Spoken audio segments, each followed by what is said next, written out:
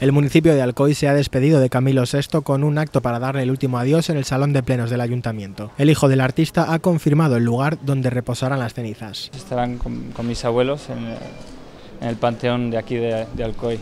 ¿Pero está previsto que se haga algún mausoleo? Eh, Algo, un mausoleo es de lo mejor que se puede hacer para él. También ha agradecido las muestras de cariño que los seguidores han mostrado a su padre durante el acto de homenaje.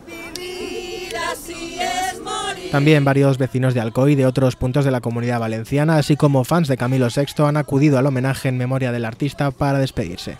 Es, preciso venir. Uno tiene que volver a donde a sus raíces, claro, a sus raíces, ni más ni menos. Sí, pero él nunca lo vi. Es, es la pena que me ha quedado, la espina. Por eso he querido venir aquí